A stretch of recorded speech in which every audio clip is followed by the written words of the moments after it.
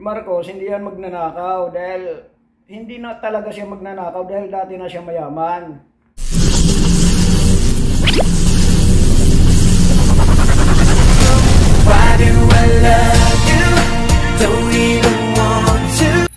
Hello guys, good morning guys. ah may dahil matunog ngayon ang ah, eleksyon. ah meron tayo guys ah, at matunog ang pangalan ni BBM Bongbong Marcos sa pamilya Marcos. Ngayon guys, meron tayong tatanungin, meron tayong i-interview na isang ah, batikhang ah.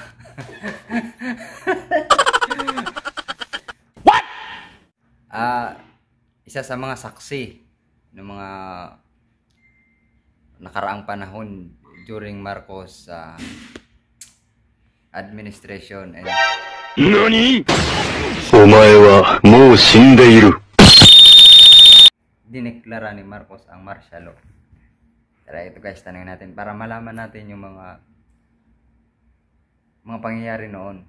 Isa siya sa mga pinaka isa sa mga nakasaksi pangyayari noon. Tara guys, samahan natin guys. Ito ba anong masasabi mo na sinasabi na nila nung na ano nung iba na magnanakaw daw si Marcos? Marcos, hindi yan magnanakaw dahil hindi na talaga siya magnanakaw dahil dati na siya mayaman. Tumutulong na lang si Marcos.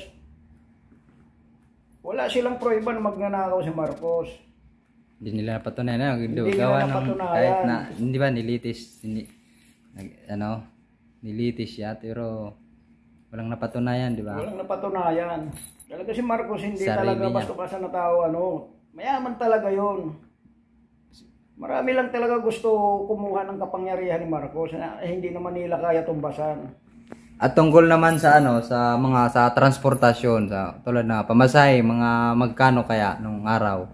Ang minimum noon, every 3 kilometers, ang nabutan ko ay 65 centavos. Hmm, kaya, grabe oh. Eh ngayon, magkano na? Ang minimum, 9 yata. 65 centavos. Mura.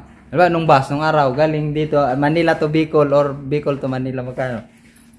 Ah, hindi ko na ano yun. Sa Pero inyo, ano ba, sa inyo, sa Leyte?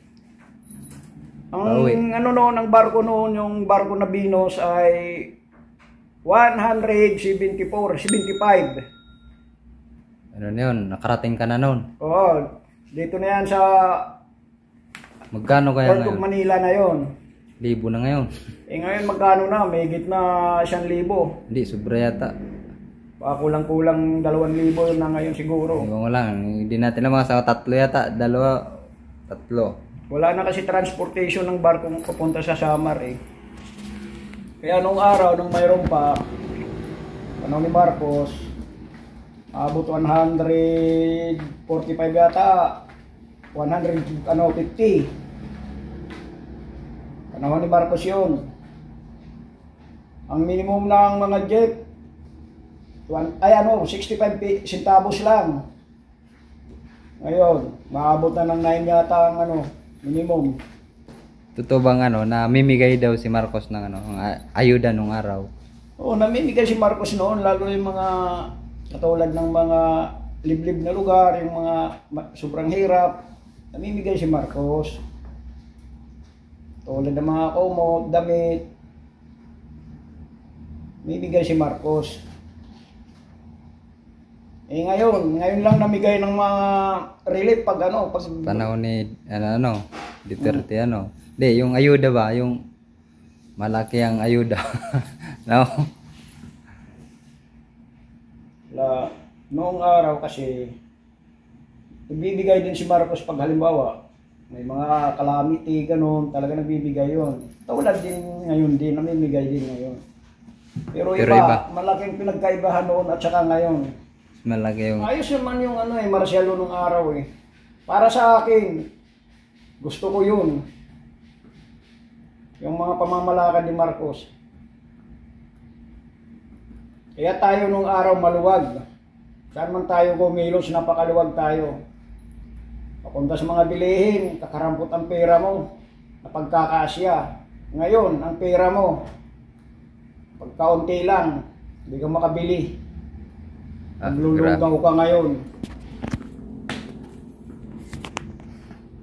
Mas maigi pa para sa akin. I, I never experienced a nightmare in martial law.